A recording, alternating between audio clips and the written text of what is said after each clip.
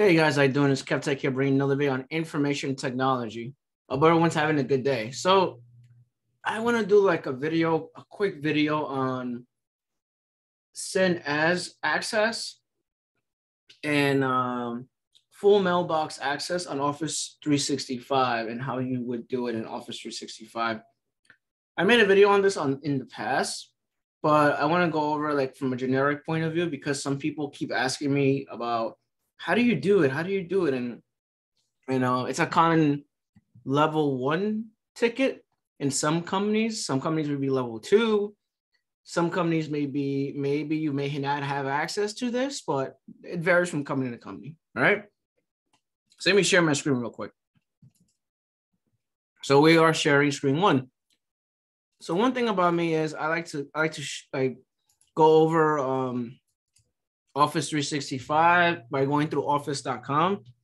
So you need to know how to navigate to this website because sometimes you may have a client or user or someone that is asking for an installation of Office. So you have it right here on the right hand side, actually. So when you log in, obviously it, it, it, I already signed in, I saved my password already, but when you log in, you have this option on the right hand side. It says premium Office apps and other installation apps you need to know how to install Office Office Suite on a laptop, on a desktop, or maybe someone has a, a, a company laptop. You have to go to office.com. They probably have a license, or maybe you have to assign them a license and then you install it for them. So for today, we're gonna go over uh, Exchange. So I'm gonna go here and click on admin on the left-hand side, right? And it should open up like this. And let's go over show all. Let's go over Exchange and let's open that up real quick. Me, I'm very, uh, I'm very old school, right? Obviously. So I am gonna go into Classic Exchange Admin Center. That's like the original Admin Center. Obviously, this is the newer version or the newer way to get into it. I'm gonna go into it this way, right? And I'm gonna hit mailboxes. That's what I just did just now. So I was in dashboard and I clicked on mailboxes. So when you're when you're working with a user or a client, uh, obviously there's several ways to do. it. You can do it on PowerShell, but today I'm gonna do it on on the GUI or on the website. If you want someone to have access, send as access, you go into the user themselves. So like I want I want Kevin Apollinario, which is me. I want to have send as access to Raj. And I also want to have Raj's mailbox as well. So what you do is you double click on Raj.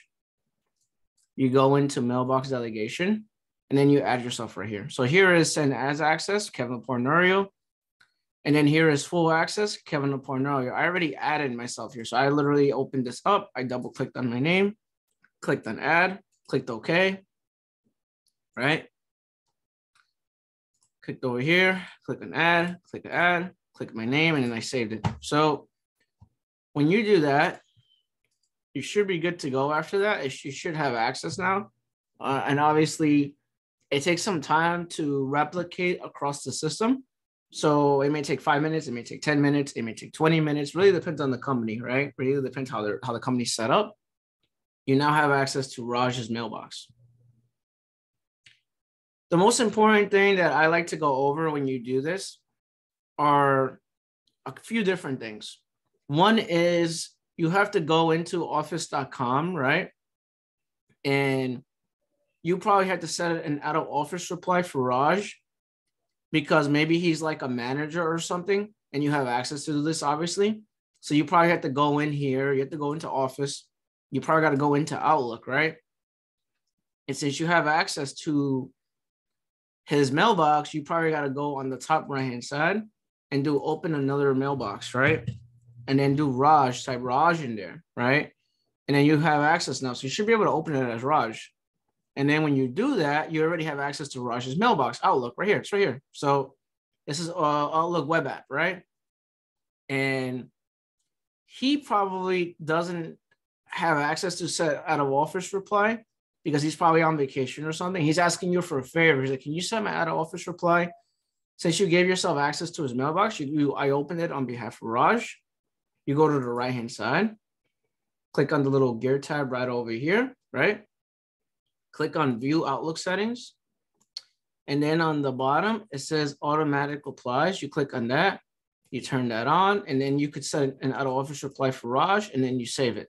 And that's how you would do it. And, and, and guys, this is a common level one ticket, maybe level two, depending if you have access to do mailbox exchange admin center or not. But this is a common ticket you'll get every day. Like, like the person's like, I'm out of the office. Um, can you send an out of office reply for me? So you could probably do it on PowerShell as well, obviously, but this is just the, the, the, easiest way to show you how to do it because I know everyone is not like tech savvy or they're trying to learn Exchange Admin Center. This is how you would do it. All right. So now that I'm done with that, I'm going to minimize Chrome for a second and I'm going to re I'm going to open Outlook. So when you open Outlook, when you add the inbox, it should show up on the left-hand side, which is right here. You see Raj is right over here, right? Which is kind of cool. You actually have his inbox. So it, you could just click on it, close it, open it, right? And I also gave myself send on behalf access. So I actually could go to new email and I could actually go over here and you see there's insert options. This is from, I'm going to take, I'm going to turn that off for a second, right?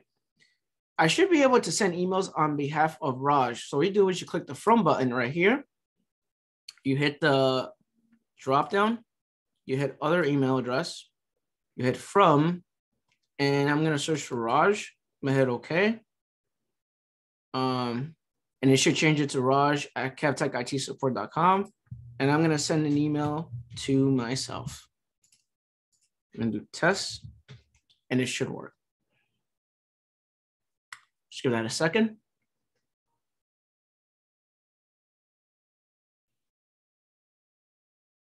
I heard a little chime button. There we go. There we go. I got it. So yeah, now it's sent on behalf of I sent on behalf of Raj. So that's how you would do it. So maybe you have multiple share mailboxes and you'll probably be requested to do this and you have to do the drop down. You'll probably have like four or five of them right here. So obviously if you want to get rid of it, you just hit the little X button right here. It gets rid of it. Um, that's how you do it. And then obviously I have access to Raj's inbox. So if you go here, he has his inbox is right over here, right? When you have access to someone's inbox, you also have access to their calendar.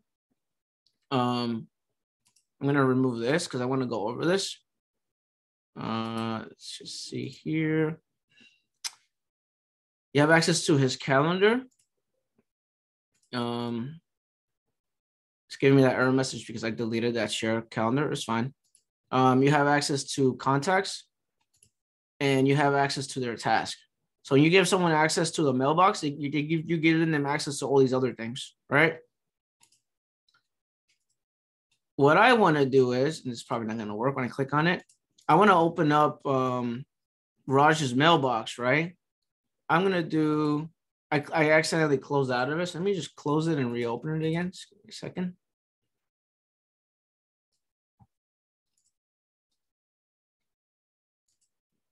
There we go. Now it's now it works. Had to close out of and reopen it. So that that's Raj's inbox. Say for example, you get a call about uh, uh, Kevin. I need you to give me access to Raj's um, Raj's uh, calendar, right? You do it in here, obviously. So obviously, you give yourself access to his inbox. Um, you right click on Raj. You do properties.